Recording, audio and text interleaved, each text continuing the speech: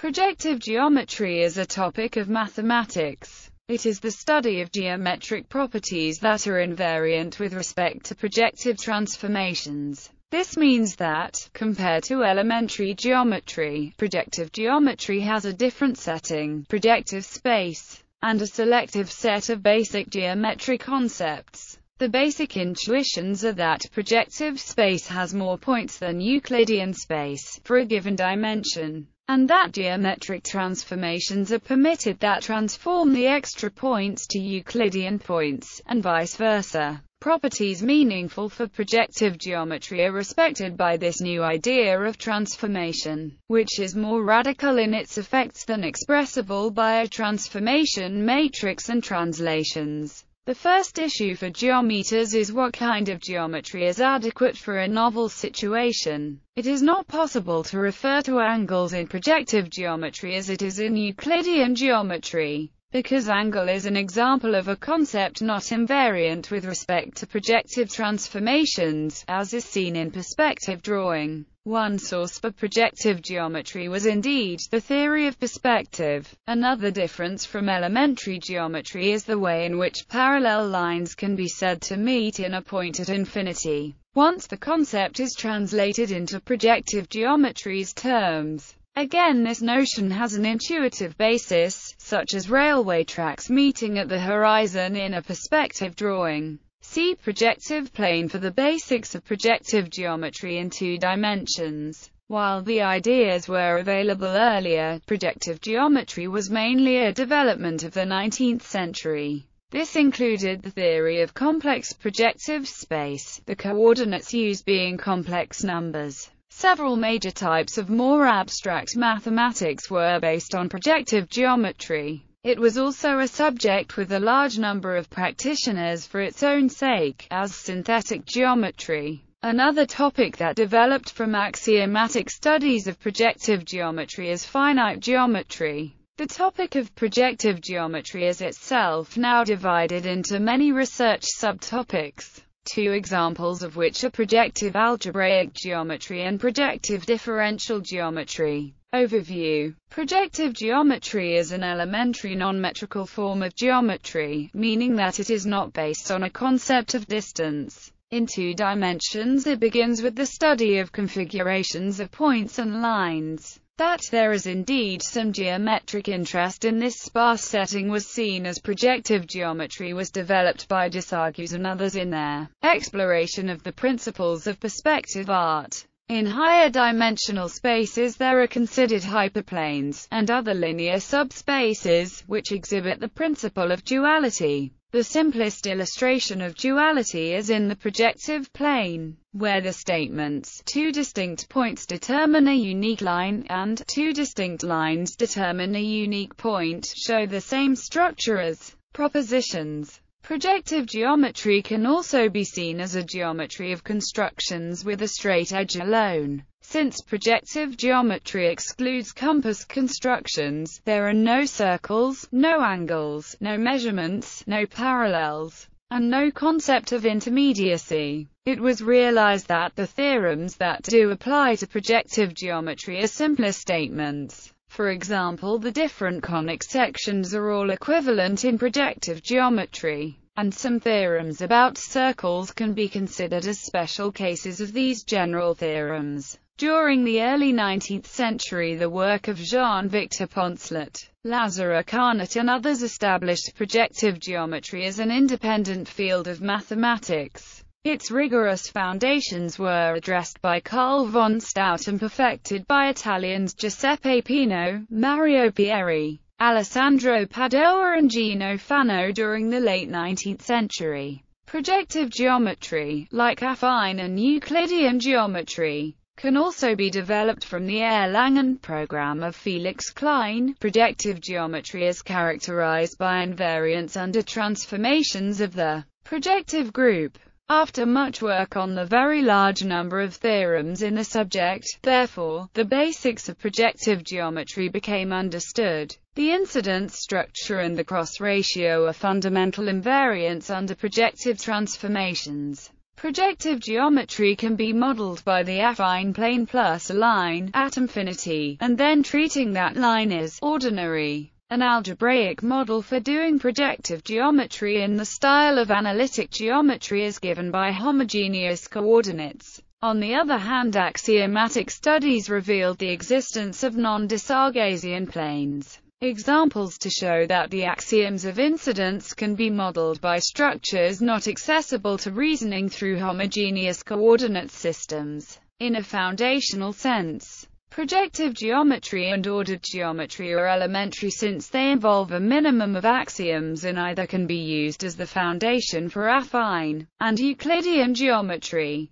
Projective geometry is not ordered, and so it is a distinct foundation for geometry. History The first geometrical properties of a projective nature were discovered during the 3rd century by Pappus of Alexandria. Filippo Brunelleschi started investigating the geometry of perspective during 1425. Johannes Kepler and Gerard Desargues independently developed the concept of the point at infinity. Desargues developed an alternative way of constructing perspective drawings by generalizing the use of vanishing points to include the case when these are infinitely far away. He made Euclidean geometry, where parallel lines are truly parallel, into a special case of an all-encompassing geometric system. Desargues's study on conic sections drew the attention of 16-year-old Blaise Pascal and helped him formulate Pascal's theorem. The works of Gaspard Monge at the end of 18th and beginning of 19th century were important for the subsequent development of projective geometry. The work of Desargues was ignored until Michel Chasles chanced upon a handwritten copy during 1845. Meanwhile Jean-Victor Poncelet had published the foundational treatise on projective geometry during 1822. The non-Euclidean geometries discovered soon thereafter were eventually demonstrated to have models, such as the Klein model of hyperbolic space, relating to projective geometry. This early 19th century projective geometry was intermediate from analytic geometry to algebraic geometry. When treated in terms of homogeneous coordinates, projective geometry seems like an extension or technical improvement of the use of coordinates to reduce geometric problems to algebra, an extension reducing the number of special cases. The detailed study of quadrics and the line geometry of Julius Plucker still form a rich set of examples for geometers working with more general concepts. The work of Poncelet, Jacob Steiner and others was not intended to extend analytic geometry. Techniques were supposed to be synthetic. In effect projective space as now understood was to be introduced axiomatically. As a result, reformulating early work in projective geometry so that it satisfies current standards of rigor can be somewhat difficult. Even in the case of the projective plane alone, the axiomatic approach can result in models not describable via linear algebra. This period in geometry was overtaken by research on the general algebraic curve by Clebsch, Riemann, Max Noether, and others, which stretched existing techniques, and then by invariant theory. Towards the end of the century, the Italian school of algebraic geometry broke out of the traditional subject matter into an area demanding deeper techniques. During the later part of the 19th century, the detailed study of projective geometry became less fashionable, although the literature is voluminous. Some important work was done in enumerative geometry in particular, by Schubert, that is now considered as anticipating the theory of Chern classes, taken as representing the algebraic topology of Grassmannians. Paul Dirac studied projective geometry and used it as a basis for developing his concepts of quantum mechanics. Although his published results were always in algebraic form. See a blog article referring to an article in a book on this subject. Also to a talk Dirac gave to a general audience during 1972 in Boston about projective geometry, without specifics as to its application in his physics. Description Projective geometry is less restrictive than either Euclidean geometry or affine geometry. It is an intrinsically non-metrical geometry, whose facts are independent of any metric structure. Under the projective transformations, the incidence structure and the relation of projective harmonic conjugates are preserved.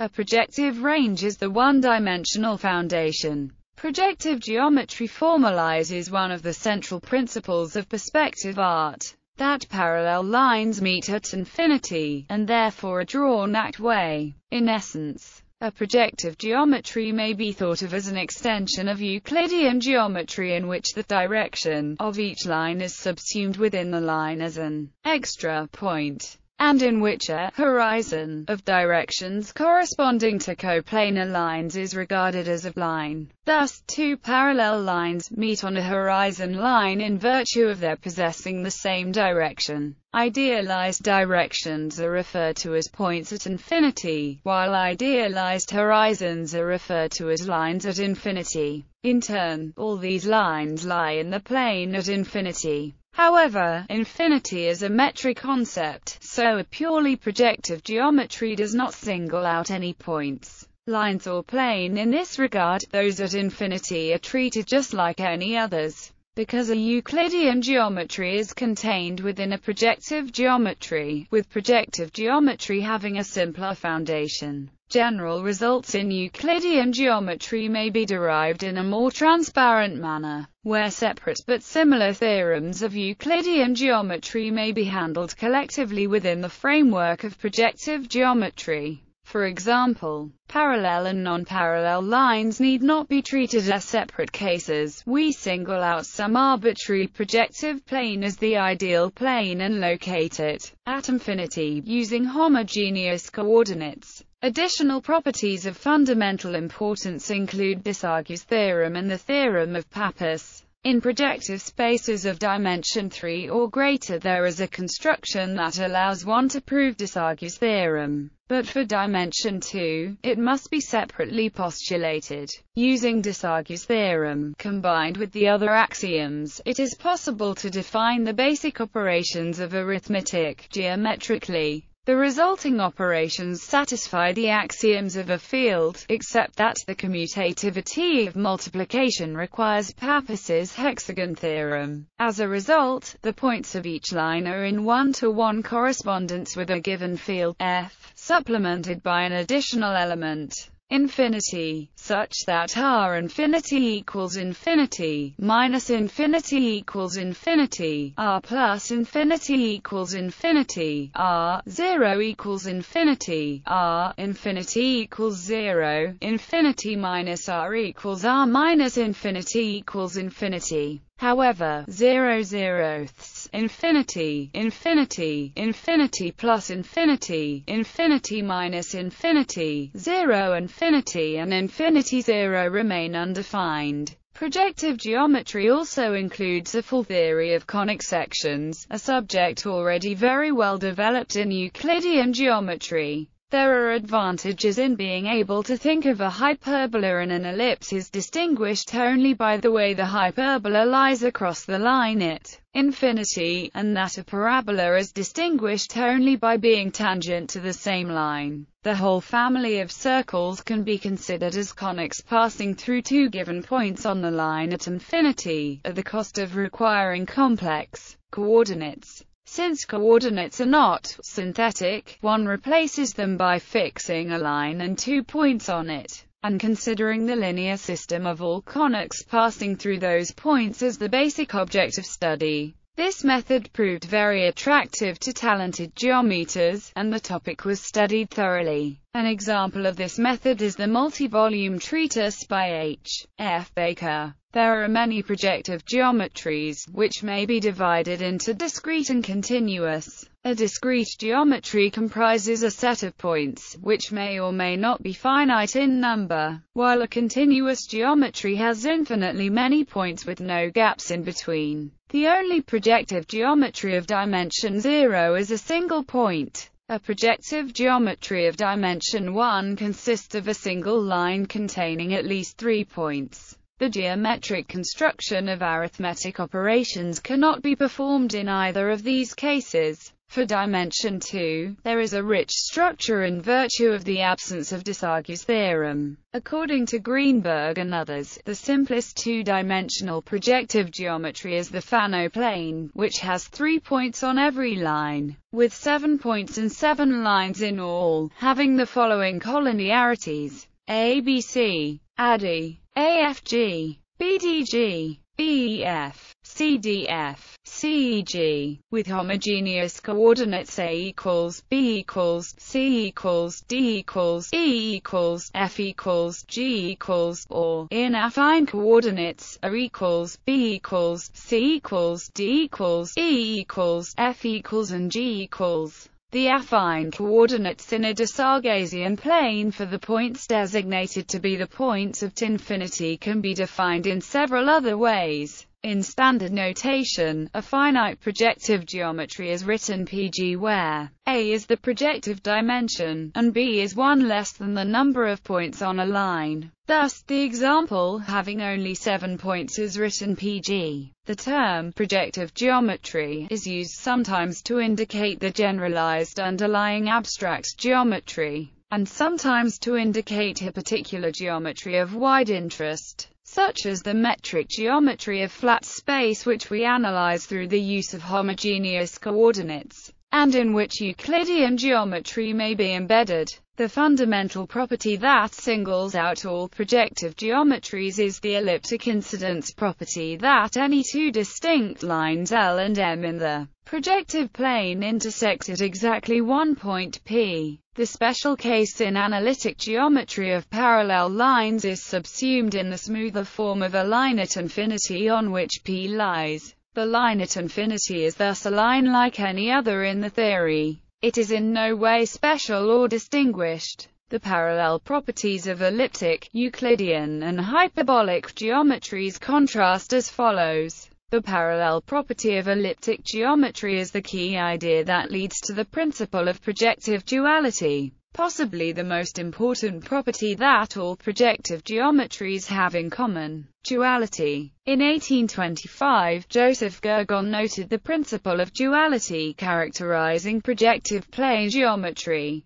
given any theorem or definition of that geometry, substituting point for line, line for pass-through, collinear for concurrent, intersection for join, or vice versa, results in another theorem or valid definition, the dual of the first. Similarly in three dimensions, the duality relation holds between points and planes, allowing any theorem to be transformed by swapping point and plane, is contained by and contains. More generally, for projective spaces of dimension n, there is a duality between the subspaces of dimension r and dimension n minus r minus 1 for n equals 2. This specializes to the most commonly known form of duality, that between points and lines. The duality principle was also discovered independently by Jean-Victor Poncelet. To establish duality only requires establishing theorems which are the dual versions of the axioms for the dimension in question. Thus, for three-dimensional spaces, one needs to show that every point lies in three distinct planes. Every two planes intersect in a unique line and a dual version of to the effect. If the intersection of plane P and Q is coplanar with the intersection of plane R and S, then so are the respective intersections of planes P and R, Q and S. In practice, the principle of duality allows us to set up a dual correspondence between two geometric constructions. The most famous of these is the polarity or reciprocity of two figures in a conic curve or a quadric surface. A commonplace example is found in the reciprocation of a symmetrical polyhedron in a concentric sphere to obtain a dual polyhedron.